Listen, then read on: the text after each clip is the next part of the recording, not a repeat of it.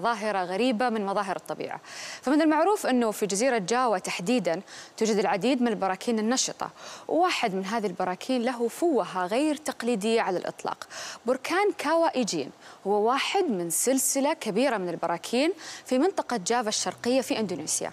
فوهة البركان والتي يصل عمقها إلى 200 متر هي أكبر بحيرة لحمض الكبريت الأزرق في العالم. وعلى الرغم من شكلها الجميل ولون مياهها الفيروزي إلا أن هذه البحيرة هي مستودع من حمض الكبريتيك الذي يملأ المكان برائحته القوية جدا والمنفرة. بالقرب من البركان هناك منجم كبريت حيث يعمل عمال ليلا نهارا لجمع الكبريت في سلالهم. والعجيب في الموضوع هو أنهم لا يحتاجون إلى الإنارة في الليل بسبب اشتعال الحمم الزرقاء.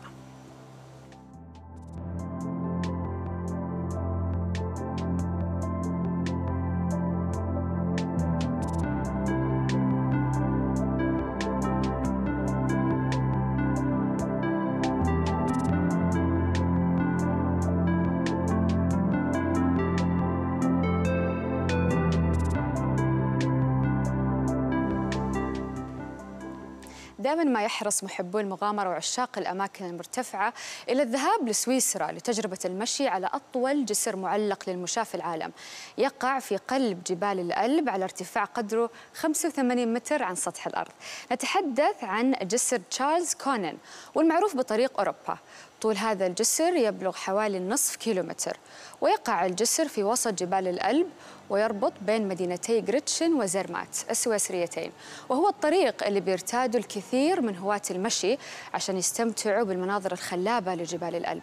واستغرق بناء الجسر شهرين وأيضا ونصف يعني ويتم افتتاحه رسميا عام 2017 تم انشاؤه ليكون بديل لجسر مشاة قبله تم هدمه بسبب انهيار صخري حدث منذ أعوام. ولكن هذا الجسر يستخدم ثمانية أطنان من الكابلات الحاملة له وأيضا له نظام يمنعه من الانقلاب أو التأرجح واعتمد بناؤه على نظام مبتكر يحول دون تمايل واهتزاز الجسر.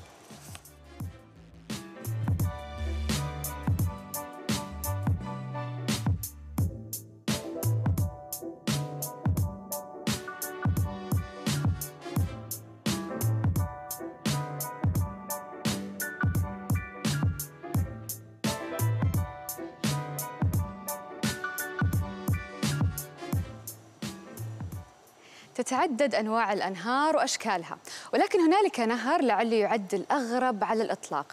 يسمى ب The Boiling River أو النهر المغلي. يقع في أعماق غابات الأمازون في دولة, دولة بيرو في أمريكا الجنوبية.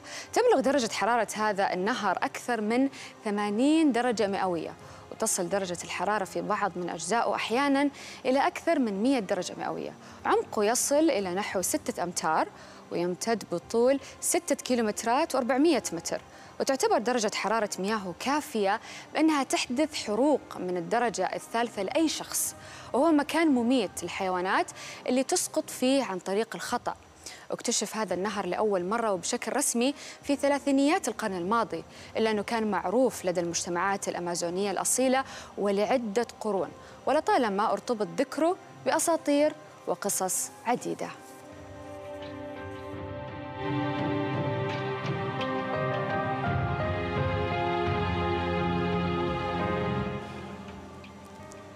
وثق عمال إحدى حدائق الحيوان في أستراليا مشهد مذهل لأنثى شمبانزي مع طفلتها حيث تقوم الشمبانزي الأم بمحاكاة ما يقوم به البشر مثل الأم العادية عندما تلاعب طفلتها.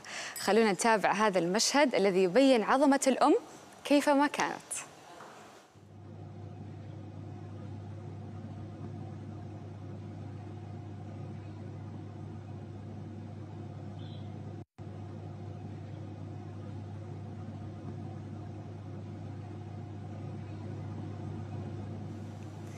من الأخبار الغريبة اللي حدثت هذا الأسبوع خبر يتعلق بشخص استطاع أن يسجل رقم قياسي في مسابقة لتحدي الرمش واللي تم بثها على الهواء مباشرة على شاشة التلفزيون. صاحب الرقم القياسي هو ممثل كوميدي ومذيع تلفزيوني من الفلبين. يدعى باولو باليستيروس.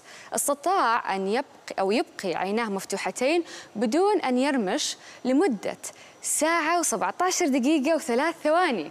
وبالرغم من عدم وجود أي دليل في موسوعة جينيس حول ما إذا كان هذا الرقم المسجل هو الأعلى في العالم إلا أن موقع ريكورد سيتر dot com الشهير أشار إلى أنه أطول فترة عدم رمش قام بها مواطن أمريكي نجح سابقا في عدم الرمش لمدة ساعة كاملة وخمسة ثواني مما يجعل هذا الشخص من الفلبين صاحب اللقب حتى الآن.